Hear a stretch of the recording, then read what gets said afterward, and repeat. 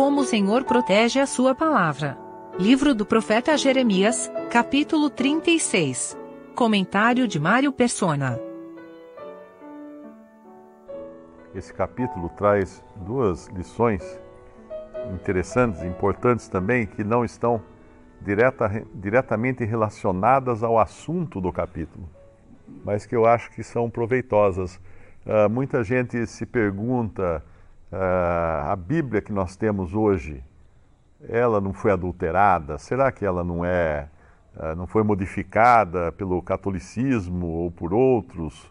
hoje eu recebi um que até falando um absurdo, que ele leu que a, quem escreveu a Bíblia teria sido Satanás. Então as pessoas têm um monte de teorias para lançar dúvidas no coração da, das pessoas e, e uma coisa, uma certeza que Deus pode dar é que a sua palavra, ele, ela tem um, alguém que cuida dela, que é o próprio dono da palavra de Deus. Quando alguém me pergunta se a Bíblia não foi modificada, eu digo que o maior interessado em que a palavra de Deus chegasse até nós hoje é Deus. Então, ele cuidou.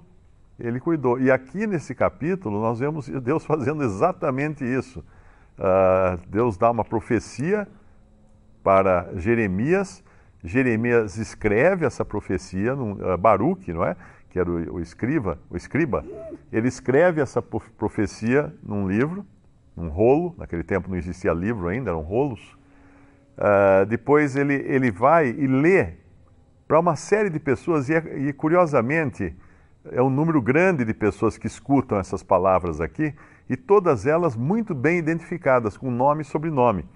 Naquele tempo não existia ainda sobrenome. Sobrenome eu acho que foi criado uh, lá pela Idade Média, ou um pouco antes disso.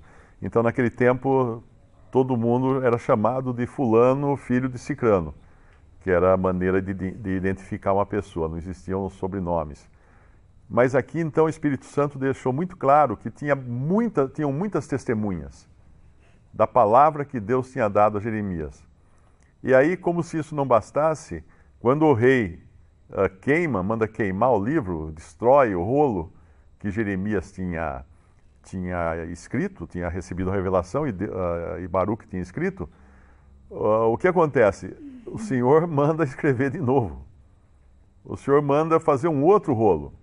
E não só isso, ele manda esconder esse outro rolo e, e esconder Jeremias e Baruque. E quando a gente lê lá no fim, quando diz que ah, tem uma passagem que fala que o Senhor escondeu. Eu acho que será que é mais para o começo? Ele não achou não encontraram Baruque e nem Jeremias. Acho que é 26, irmão. 26. Isso, exato. Antes deu ordem o rei a Jerameel, filho de Amaleque, a Seraías, uh, e etc., e a Jeremias o profeta, para que prendessem a Baruque, o escrivão, e a Jeremias o profeta. Mas o Senhor os escondera. Então, que, que precioso vermos isso, Deus cuidando da sua palavra e cuidando também dos seus profetas, daqueles que produziam a sua palavra de uma maneira que as pessoas pudessem, pudessem conhecê-la. E não foi diferente isso daí ao longo do, dos séculos que vieram depois, uh, Deus preservando uh, a sua palavra. No, o povo de Israel, ele é conhecido como o povo do livro porque o judaísmo é, é, a religião baseada numa escritura, numa escritura, não em, em, coisas vagas, em lendas ou coisas assim, mas numa escritura. Então eles sempre deram muito valor a isso, tanto é que nós vemos uma das grandes provas da fidelidade do Antigo Testamento é que talvez não exista um livro na face da terra que fale mais mal dos judeus do que o Antigo Testamento. Ou seja, se eles, se eles quisessem destruir esse Antigo Testamento, uh, para não deixar nenhuma prova de que Deus os achava tão ruim, eles teriam destruído, mas obviamente Deus não permitiu. Então, ali no Antigo Testamento estão toda, todas as falhas, toda a vergonha desse povo que era o mesmo povo que Deus deu a sua palavra para que eles fossem os guardiões da sua palavra. E, e aqui isso nos consola muito. Primeiro, porque Deus proveu muitas testemunhas do que havia sido escrito, quer dizer, ainda que uh, desaparecesse alguma coisa ali, muita gente ia falar assim: não, mas estava escrito assim. E, e Deus também preservou os que escreveram, o, profeta que ele usou, e preservou também a palavra escrita. E quando nós vamos para o Novo Testamento, não é diferente, porque os evangelhos uh, são, de certa forma, uma vergonha para os discípulos. Eles são ali uh, tratados como pessoas que não entendiam as coisas, como pessoas que, que falavam que não deviam, tipo Pedro, né? Uh, quando ele tem que ser repreendido pelo Senhor, bem que Pedro podia mandar tirar, falar assim, ah, tira essa parte aí que vai pegar mal para mim. Mas não, tudo ali foi registrado como o Espírito Santo queria que fosse registrado, inclusive as falhas de todos os discípulos ali, todas as coisas que eles fizeram uh, na, na, sua fraqueza, na sua falta de entendimento, estão ali gravadas. E quando, quando Lucas escreve o seu evangelho, ele faz questão também de consultar muitas, muitas testemunhas. Então é, é, ele queria ter certeza de que tudo que estava ali também tinham pessoas, talvez podemos olhar até no, no capítulo uh, de, é, eu acho que Atos, ou é que ele fala do excelentíssimo Teófilo. É, é Lucas.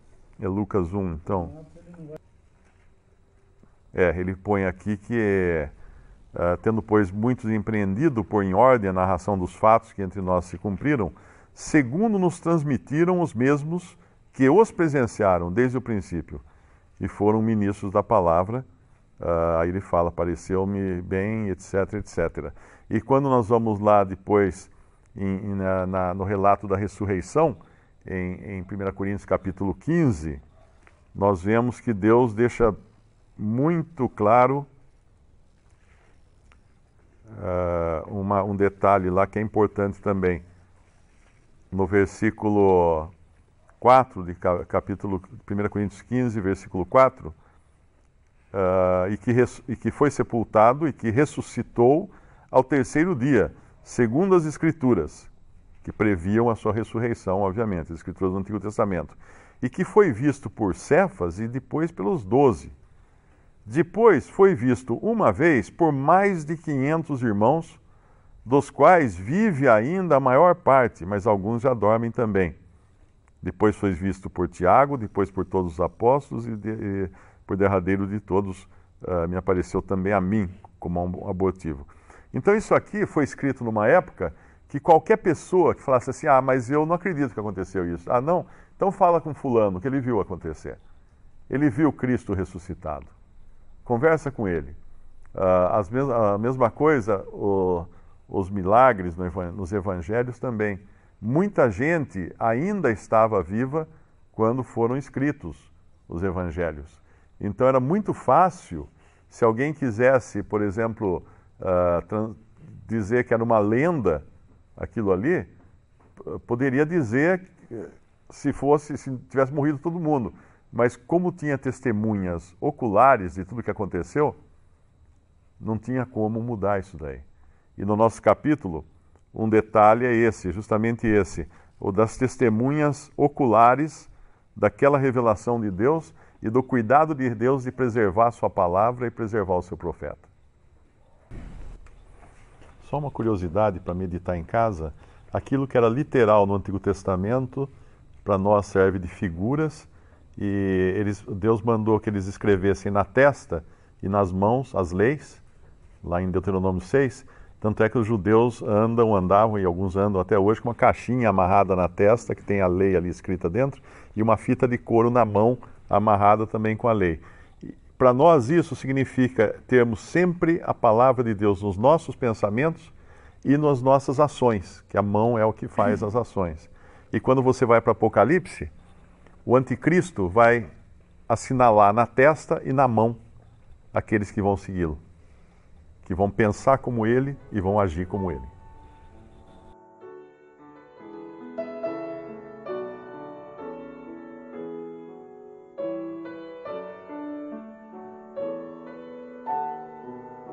Visite respondi.com.br.